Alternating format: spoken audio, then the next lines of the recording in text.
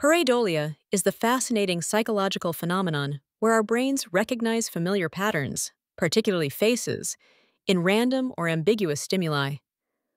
Our brains are hardwired to detect faces so efficiently that we often see them in everyday objects, from electrical outlets to car fronts.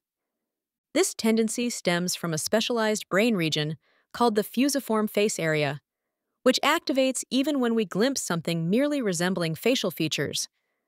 From an evolutionary standpoint, quickly identifying faces helped our ancestors detect potential threats or allies, making facial recognition a crucial survival skill. The phenomenon affects people of all ages and cultures, suggesting it's an inherent human trait rather than a learned behavior.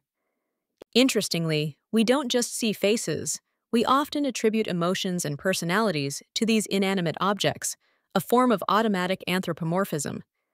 This tendency has shaped cultural phenomena throughout history, from seeing religious figures in toast to the famous research shows infants as young as three months old show preference for face like patterns, suggesting pareidolia may be present almost from birth.